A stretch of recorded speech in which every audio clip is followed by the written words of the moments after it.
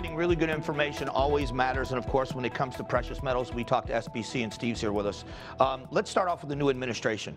A lot of changes in policy. How is this policy change or these policy changes we're seeing, how's it affecting your industry? It's got a lot of our customers a little bit nervous because we've seen what's happened in the past when we've had a fully Democratic Congress and a Democratic president.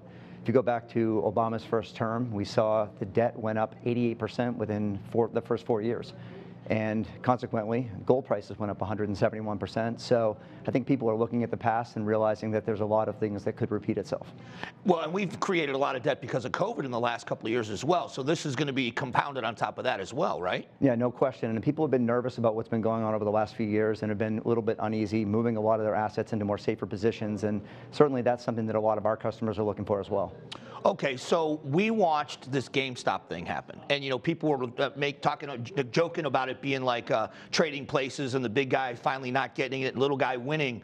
But this is making a lot of people nervous as well. What's this doing to your industry? Well, what it was doing was basically there were, you know, these Wall Street hedge funds were coming in and they were trying to drive down this stock. And when, when the, the buyers came in and started buying it up, it started pushing the margins the other way.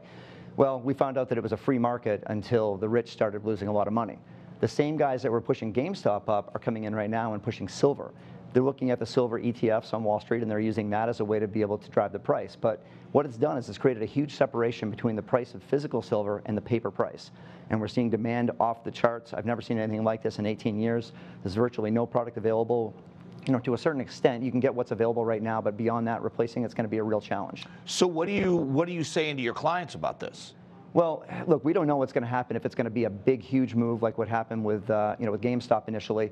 That's something that we'll we'll have to wait and see what happens there. But over the next few years, we already know where the debt's going to drive things. We know that gold and silver are going to have a big move because of that. And if it does create a huge move in the short term, that's only a little bit more of a benefit that they can get if they get in right now.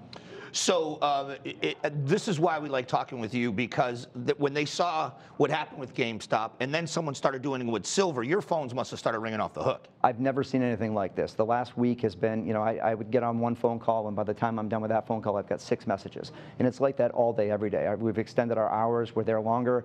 I've, I've, I've never seen the physical demand this strong in this short of a period of time when something like this happens. All right, let's talk about the word bubble. We keep hearing again stock bubble, housing bubble. When people get nervous and they hear that word, what does that do with you guys? They look for a flight to safety, and that's exactly what our markets do. If you go back and look at the 2008 financial crisis, that was our clients' best times as far as getting growth in their markets. So it's about having to hedge yourself against other markets when they get very volatile. If bubbles do start bursting, you know that the gold and silver markets tend to do very well in that period of time. So when you put all three of these things we're talking about together, that's why people got to start making calls now, right? You want to make sure you're protected. Correct. You want to be ahead of it. You want to kind of be proactive in this. Make sure your retirement plan, your IRA is safe. Make sure you have good diversification in that or your other investments.